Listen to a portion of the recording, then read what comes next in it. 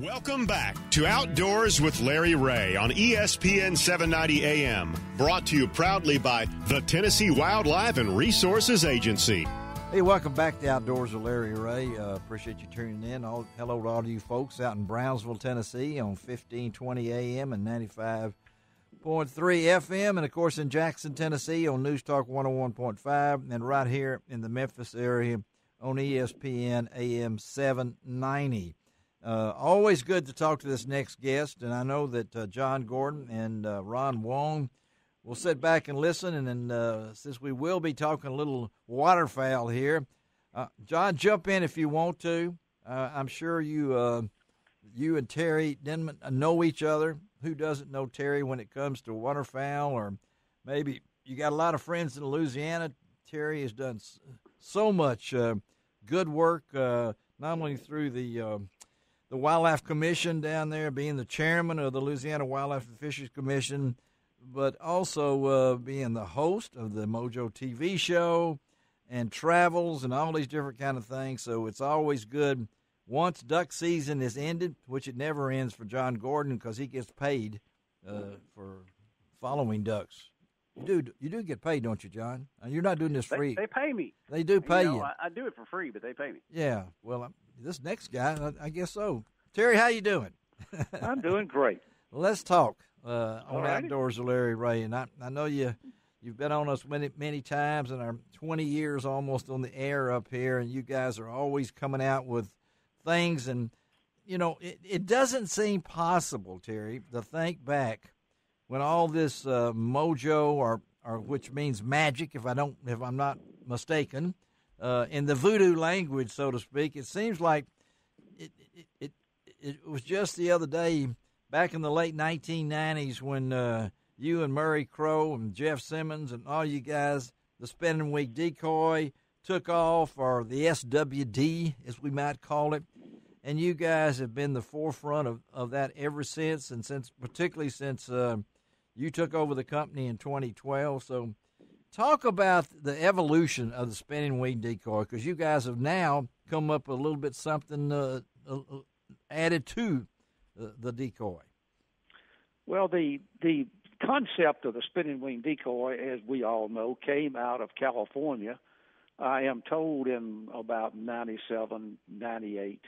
Uh, it got down to our part of the world. I'm in Louisiana, you in West Tennessee, Stuttgart, got all down this area uh, in 99. Okay. And, but it was being made at that time by some rice farmers in the Valley of California making them in their farm shop, and they couldn't meet demand. And so uh, a lot of people started making them because that's the only access they had to them was to make one or have someone make them for them. And as you know, you know our friend Jeff Simmons owns a huge sporting goods store Right, in Bastrop, yes. Louisiana.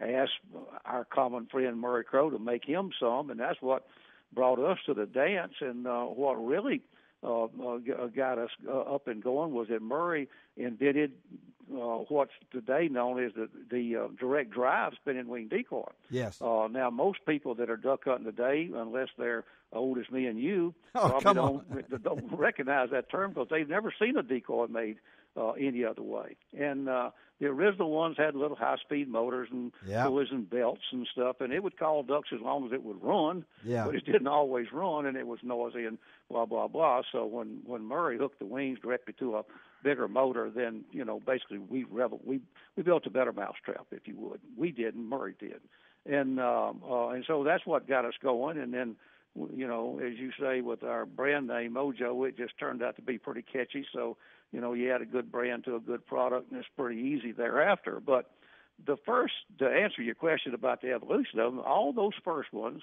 all anyone could do was just get a decoy, get a hollow body decoy some way, cut a hole in it, you know, be able to get mount a motor in the side of it and and hook some wings to it. And Yes, uh, and and actually that concept existed for uh, well over 10 years, but it wasn't the correct way to build one. Uh, you know, you got the motor hooked to the body, and you got the body hooked to the support. You know, Yes. and that's Yeah. just think of your car, your truck, your motorcycle, anything. If you if you hooked the motor of your car uh, to the body, you know, what would you have? It, you you wouldn't want to drive it. I can No. tell you that. So No. I had this concept for years that you know we ought to build it in a better way. and uh, and so finally we did. We built uh, what you what you referred to a, a minute ago, and we call the Elite Series. Yes, and, yeah. And we we made a housing, just a housing, and put the motor and the battery and everything inside that housing.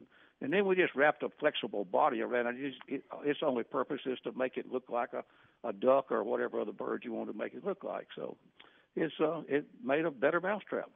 And John Gordon, you're listening on this is uh, is your lifeline as a waterfowl hunter and things along that line. You remember your first time you saw a spinning wing decoy, John? I do very well, Larry, and it, it like like Terry said, it was right there along that late '90s time frame, you know. And I was I was in Texas at that point, and um, you know we were just astounded, yes, as to what it would do. Yeah, uh, you know, you talking about being able to to attract ducks that normally you know wouldn't even give you a second look, and and they were all of a sudden uh, decoying by the hundreds. Uh, it was really a revolution, and it it still works great today. And and I know uh, Terry, when we talk about this, uh, it may seem like a long time ago to you, but you you've you've crammed so much in, into your life as a not only as a businessman but a conservationist and things along this line and and your show has been so successful uh, on the outdoor uh, the, the, outdoor TV. I mean, I, I, how many years now has Mojo out Mo, Mojo TV been on? Well, I think that this is our twelfth year. Wow, we wow. were on the air before that, but it was a show that we had before Mojo TV. Yes, with Mike Morgan and Jim Jones. You remember that? Oh yeah, Hunting yeah. Across America. Yes, yes. But this has been about twelve years on the TV show and it's not an easy thing to do a TV show, right, John Gordon? That's very right, Larry. Uh, I should know uh, more than anyone. And, and the and the really the challenge of waterfowl hunting TV show for sure is the fact that those jokers can get up and fly away. Yeah, you know, so it just it, it's really difficult to film, and but it, it, it's really rewarding when you catch it right. And I know Terry talk talk about what's going on at Mojo now because you guys uh, started out rather small, if you want to get to it, and now you're into turkey hunting. You're, uh, uh, uh, you know, I see all these different things. You got the new um, scoot and shoot Max that I hope to be in the field with myself. So, talk about the evolution of Mojo Outdoors then. Well, it uh, it started with that one product yes. in 1999, uh-huh. and uh, uh, and first we just started expanding to other duck products, mostly spinning wing but other motion devices. Uh, and then we branched out. Uh, only a year or two later, we came out with the Mojo Dove, which happens to be our the most popular product that we make today. Is the Mojo uh, Dove? Okay, yeah. Then we got into uh, making some predator uh, hunting uh, decoys because I was a predator caller. Yes. Uh, and then we just naturally moved over into the uh, turkey field. And our first uh, stab in the turkey field was we made uh, uh, a product called a Shake and Jake. Our, our, our buddy, we all know Preston Pittman. He helped us yes. do that. Yes. But that was another Murray Crow invention. You know, it would turn the body, fan the tail. Yes. And, uh, yeah. Great product, but it just it wasn't very portable. And uh, and we sold a lot of them, but it really wasn't uh, as popular as it needed to be. And then we kind of got into this uh, what some people call fanning uh, turkeys. That's our scoot and shoot decoy. Yes. And yeah. uh, by the way, we, we don't claim to have started fanning. Some people kind of jump on us about that, but we've never claimed to do that. No. I, I, I know Mike Morgan told me he did it 30 years ago in Florida. Rob Keck told me he did it 30 years ago in Florida. And I have read that the Native Americans did it 100 years ago, 200 years ago. But it's a very exciting way to hunt turkeys, and we just happen to get into that that little niche of it and uh, developed this um, scoot and shoot. I think that scoot and shoot's been on the market about six years now, and we've made two or three enhancements to it uh, each year. And then uh, uh, there there there are a number of decoys out there, turkey decoys, uh, uh, gobbler decoys that allow you to swap the uh, the artificial fan that comes with it for a real fan. Right. Yeah. And we did that several years ago.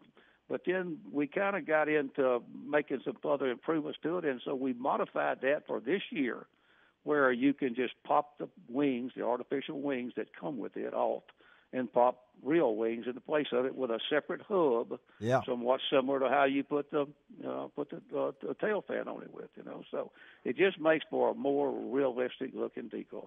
And and you can use it also as a, as a still hunter, or you can take it with you, whatever it might be. Uh, you need to go. And, and I'm I'm always amazed when I go that website. What's that website again, Terry? MojoOutdoors.com. It's real simple, and, and click on the new products and things that they have in there.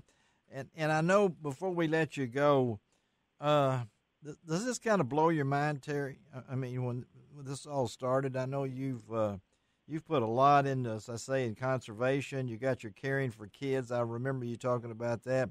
Uh, I was up there when you went into the Legends of the Outdoors Hall of Fame uh, back in 2014, and uh, golly, the things you've done. Uh, what did what did Terry uh, Denmon want to do as a kid growing up?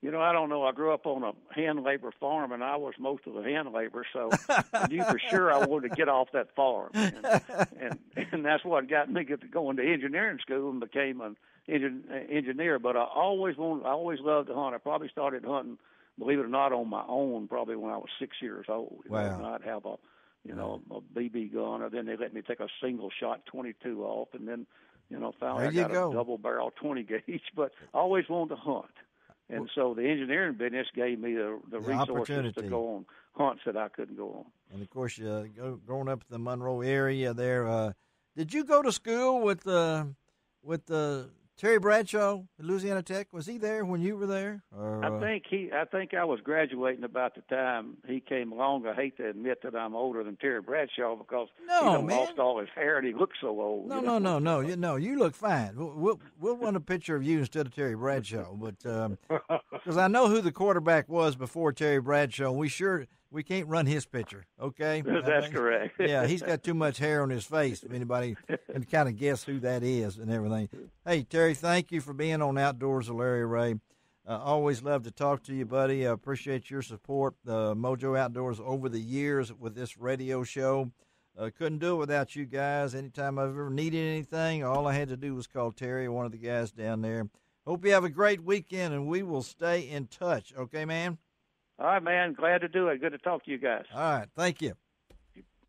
All right, Terry Denmon. And and I know, uh, uh, John, I mean, you could do a whole show with Terry. Uh, oh, yeah. It'd be real easy. He's He has seen it and done it. This you know, made, he's made uh, seven there- trips to Africa. Okay, seven trips to Africa. Hear that?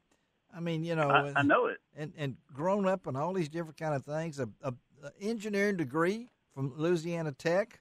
Uh, oh man, he's just a super cool guy. Is it time, Shelby? She's shaking her head. Okay, um, I think that means it's time. All right, let's take a break on Outdoors with Larry Rea. John, I know you enjoyed that. Sit back. We're going to talk some fishing for a little while, John. You like to fish too, I know. So uh, let's get ready for it. We're going to come back and uh, talk to a champion. I always love to talk to champions on Outdoors or whatever. We'll be right back.